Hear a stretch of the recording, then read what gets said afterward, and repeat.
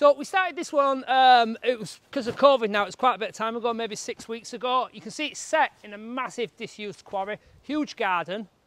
So what we've built in is like a huge garden room, which is quite dwarfed by this surrounding. But if you want to have a look at this, you can see this fantastic room we've built. It is four metres deep and it's six and a half metres long.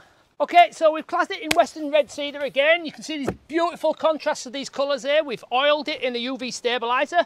We've also put in these dummy pillars, which have become a feature of ours now. Everybody likes these. We've put this black fascia trim on there. We've put a little corner piece on there. Because it's cedar, it will open up, and that's why I put a little cover trim on there. I'll just show you this side. Aluminium window, anthracite grey, got an opener there as well. It's got a one-piece rubber roof membrane on. It's Feather edges on the back. We've fit a, what's it called, John? Forgotten. No, it's not. We've fit a photo cell there, which will make the downlights come on when it gets dark. So all this is clad in the treated feather edge board. We've got this side as well here. Again, in cedar. Another window here with an opener, anthracite grey. We've got a double socket there, IP rated. We've got uh, IP, uh, We've got a spotlight which has yet to go on there, another dummy pillar there as well. You can see the soffit, we've dropped in some fire rated downlights there, lovely stainless steel finish. And we've fit these three metre aluminium anthracite bifold doors, which when you open up, as I always say, best on the market, your one finger operation, there you go.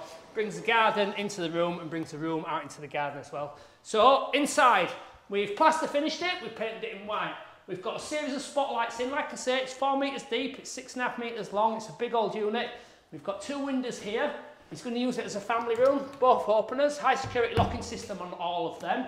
We've fit this engineered oak floor, skirting boards, architrave. Let me just repeat that. Architraves, architraves. I'm getting a lot of stick about that, whatever you want to call them. We've got another window over here with an opener. Again, high security locking system on them. We've got a 3 kilowatt digital heater there. It's a big old heater because it's a big room.